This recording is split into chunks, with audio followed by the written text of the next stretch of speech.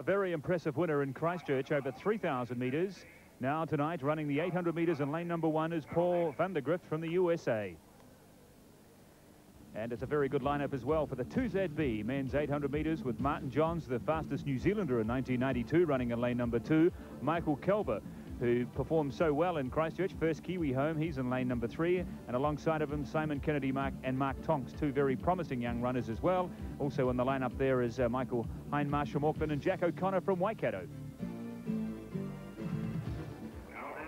So there is a big field. You can see in the outer lanes, the athletes are doubling up per lane and the fastest four get the privilege of a lane all to themselves down on the inside. Vandergrift from the USA, Martin Johns in two, Michael Calver from Waikato in three. Got close to his personal best in Christchurch. And in lane number four, Simon Kennedy, a 19-year-old from Otago. Two laps of the track here at Newtown Park Stadium, and if the wind was a decided advantage to the sprinters, it's certainly not the case in the middle distance runners.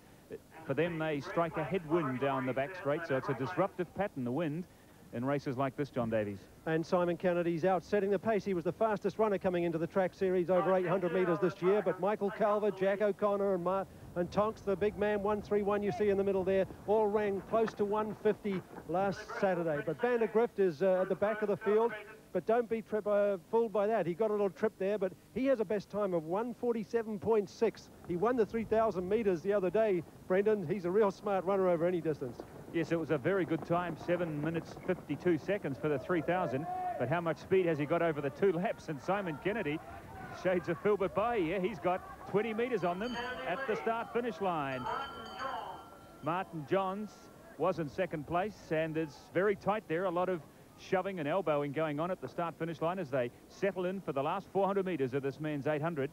Now that's Royce Wilkie that's gone to the lead. Uh, his father's one of the uh, top promoters here in, in Wellington at the Hutt Valley Club. That's the uniform he's running in. Michael Calver, who won on uh, Saturday in Christchurch, is taking up the chase. And still no move from Vandergrift. He's right at the back of the field with 200 metres to go. Now he starts to sweep wide there. You can see that the tall figure, look at him. He's just sweeping past this entire field. What a great move, Brendan. He caught everybody by surprise. He's tucked in there and got all the shelter. The real smart head on this man, Vandergrift. There he is as he leads the field into the home straight. Chasing them all away is Mark Tonks in second place.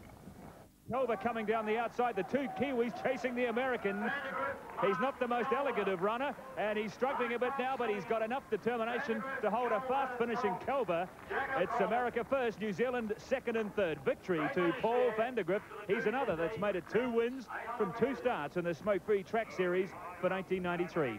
Well, two bunches of the Interflora fouls for Vandergrift, and what a smart run it was. But look at him now. He's full of a, He's full of all sorts of lactic acid at the moment and struggling, but he's a gritty, determined runner. Michael Calver, who's a very fast 400-metre runner, finishing strongly in the outside, and Mark Tonks, who ran so well, finishing again third here on Wednesday night. But a great run from Vandergrift, number 127. But 131, the tall man, Mark Tonks, who finishes third. Watch out for him in the future. He's a very smart runner.